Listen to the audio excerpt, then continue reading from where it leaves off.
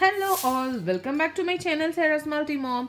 So Nithya here again with another interesting video for you guys. So today I'll be showing you all how to make these throw pillows, the decorative ones. In case we are going to buy these throw pillows for a couch or uh, a, a bed, it will be costing around 5 to 10 dollars in stores. So this pillow I just made it under 5 minutes and also under 2 dollars. So let's go and see how I made this one. you need is a placemat like this i got it from a dollar store. If you never happen to get one like this then do one thing. Take two cloths like this like the same size like buy a two towels um with a same design or like a maybe plain on one side and design with the other side. So just take this one and what you can do is the these placemats will have stitches like this.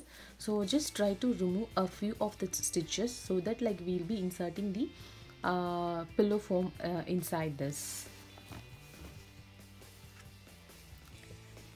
so see like now I'm going to remove like one of the like few of the stitches. If you want you can use a needle or simply like you can just um, use the scissors and you can cut this and create an hole. Like now I'm going to be slowly taking the thread around this. Not like um, much of the thread only like a few stitchings. I'm going to take it off. So that's it. I have created a hole. So this is much more enough for uh, like inserting the foam. Second one is you need a foam like this. You can just take it out from an old pillow or you can just buy it from the stores like bed stores.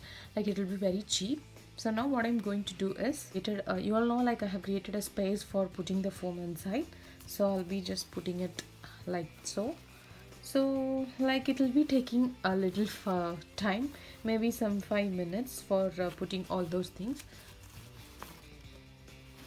So just try to have some patience because you will be getting a wonderful pillow out of this method so it's okay like instead of spending uh, so much for throw pillows like usually the uh, throw pillows will be costing around uh, $10 a minimum. It will go up to some 10 to 15 dollars. But instead of spending like that i have just spent only uh only one dollar.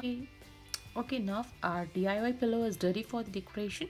So the final part has to be completed. See like i have stuffed the uh, pillow with the foam now the final step is either you can just sew it together or if you doesn't know how to sew then then take your glue gun which comes handy always. Like apply the glue. Press together.